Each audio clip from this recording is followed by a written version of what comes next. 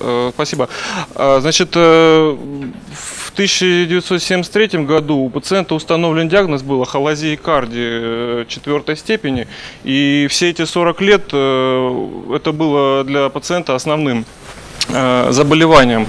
Но э, в этом году, э, в январе, он у себя по месту жительства в Сыктывкаре поступил в порядке скорой помощи в дежурный хирургический стационар с диагнозом желудочно-кишечного кровотечения. И вот как раз с этого этапа начинается обследование и лечение диагноза рака пищевода.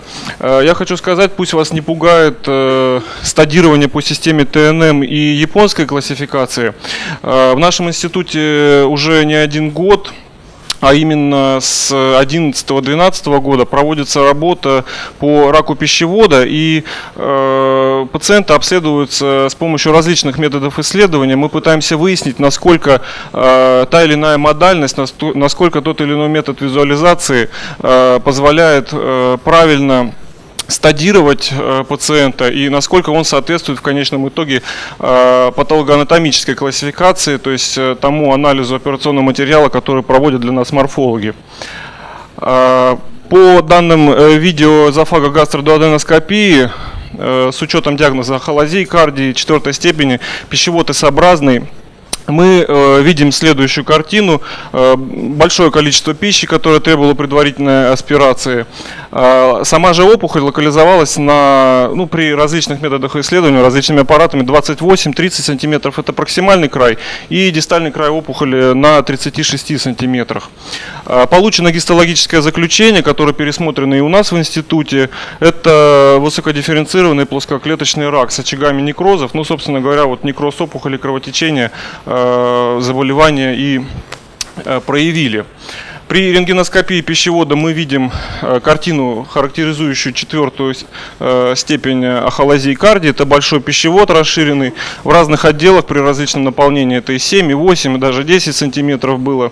То есть э, затруднения в приеме пищи не только в связи с раком э, основного заболевания, в связи с раком, но и в связи с э, нарушением пропульсивной функции пищевода.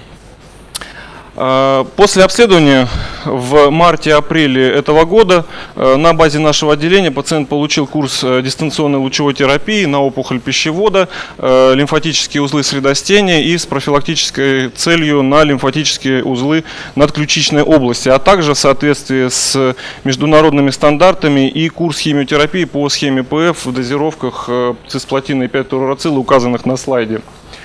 Э, состояние после операции у пациента, после химиолучевой терапии, э, выполнена контроль, э, компьютерная томография. Мы видим, что достоверного увеличения лимфатических узлов э, средостения у пациента нет, поэтому то исходное состояние, которое описывало третью С, четвертую стадию, оно в настоящий момент после лечения ну, требует рестадирования, и я думаю, что в дальнейшем патоморфологи нам уже точно скажут, где были метастазы и глубину проникновения опухоли, что в первую очередь важно для стадирования рака пищевода. Спасибо.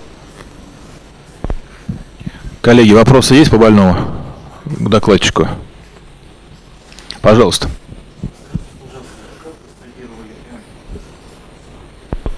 А, значит, а,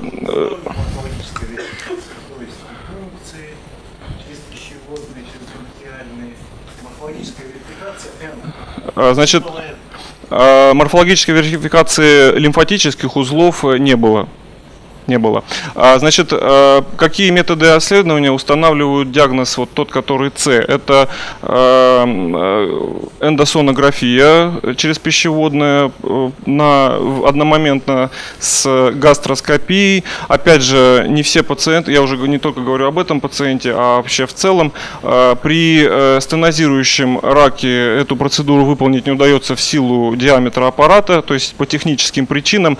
Поэтому э, у нас в институте есть работа по э, стадированию и визуализации опухоли пищевода и их э, и распространению наличия метастазов по МРТ э, с учетом э, плотностных характеристик новообразования первичной опухоли и лимфатических узлов.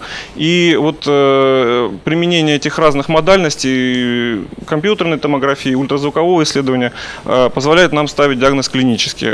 Но морфологического исследования лимфатических узлов а, возможно только при э, ну, их открытой локализации, то есть это опухоли э, надключичных областей, э, не дай бог, паховых областей, мягких тканей, что, так, что тоже бывает. Но эти пациенты, они, к сожалению, не подлежат оперативному лечению, они проходят курс либо паллиативной химиолучевой терапии, либо, увы, симптоматическое лечение.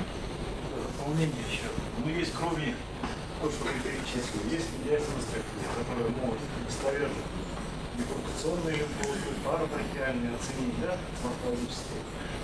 При функционной биопсии, при бронхоскопии, те же самые инфекционные вопросы можно достаточно достоверно. Это, ну, это как дополнение к моему вопросу.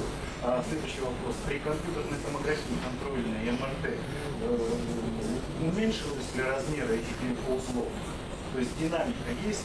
Э, динамика есть, э, динамика есть положительная. А лимфатические узлы в динамике перестали определяться по тем размерам, которые соответствуют критериям э, метастазов. А отдаленных изменений во внутренних органах метастазов легких, паренхематозные органы не было по КТ и по МРТ. Еще вопросы есть? Вопросов нет. Спасибо.